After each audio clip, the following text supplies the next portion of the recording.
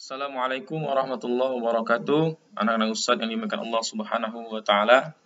Alhamdulillah, kembali lagi kita pada pelajaran pendidikan agama Islam. Pada kesempatan kali ini Ustaz akan menyampaikan materi tentang sikap tawadu.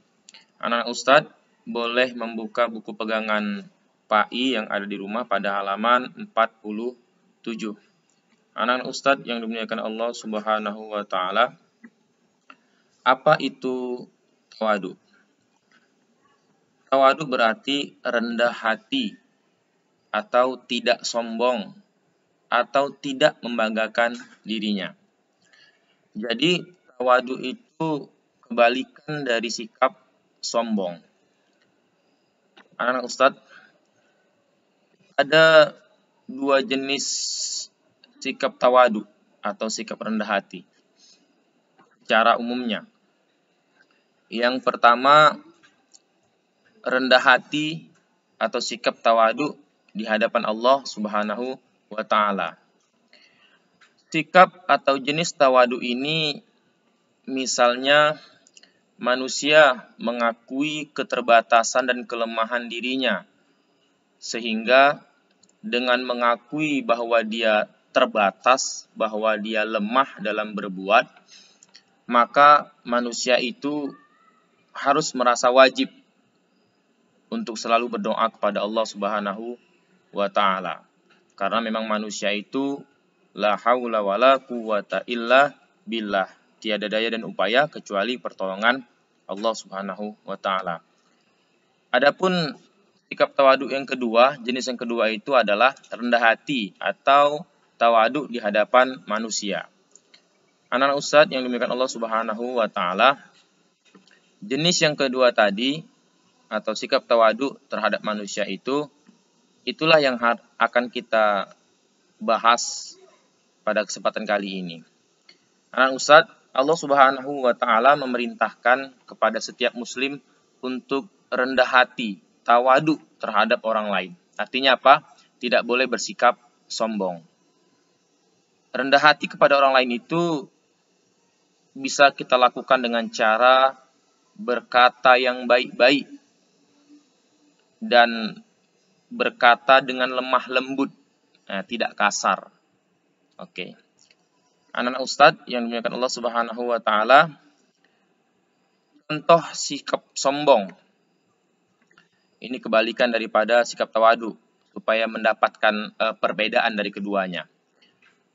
Contoh sikap sombong itu seperti merasa kaya, kemudian memamerkan kekayaannya, walaupun kita mengetahui memang dia orang kaya, namun dia tidak boleh memamerkan atau merasa sombong dengan kekayaannya, yang akhirnya menghina si miskin dan membuat sakit hatinya. Dan itulah orang yang paling buruk dalam bersifat sombong. Kemudian yang kedua, menganggap dirinya lebih pintar. Nah, ini eh, sangat banyak ya untuk anak-anak seusia SD.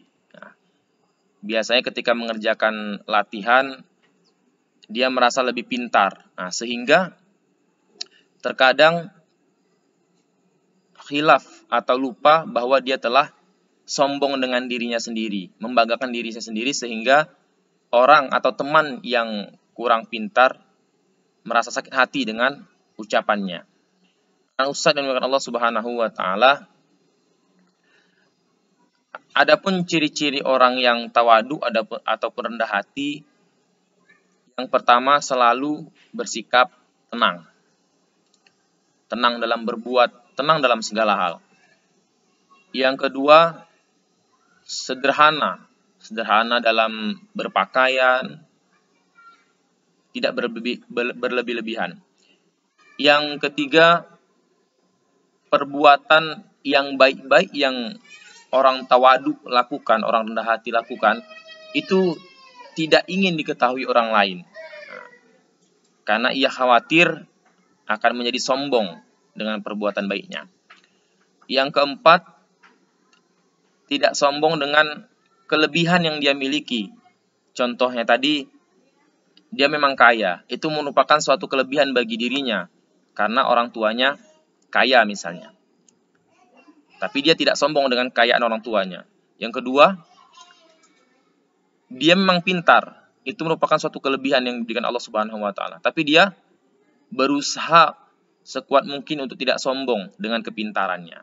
Malah dia mengajarkan apa yang ia ketahui kepada teman-temannya supaya teman-temannya mengetahui itu. Anak-anak ustadz yang Allah Subhanahu wa taala itulah sikap wadu yang sama-sama kita semua harus berusaha bisa bersikap rendah hati atau bersikap tawadu sehingga Allah Subhanahu wa taala suka kepada kita dan orang lain pun tentunya suka kepada kita. Kenapa? Karena kita tidak menyombongkan diri, tidak membangga-banggakan diri dengan apa yang kita punya. Nah, Ustadz, ada petugas yang harus dilakukan adalah mengerjakan soal pada link nanti yang akan dibagikan di grup WA kelas masing-masing. Kemudian yang kedua meringkas apa yang disampaikan dalam video ini. Kemudian kemudian tulis dalam bukunya, buku PAI, difotokan lalu dikirim ke Uram Japri. Oke, anak Ustadz yang Allah Subhanahu wa taala. Sekian penyampaian ini, mudah-mudahan anak semuanya paham dan bisa mengerjakan soal ini atau tugas ini dan tentunya bisa melakukan sikap tawaduk dalam kehidupan sehari-hari dan seterusnya. Sekian, Assalamualaikum warahmatullahi wabarakatuh.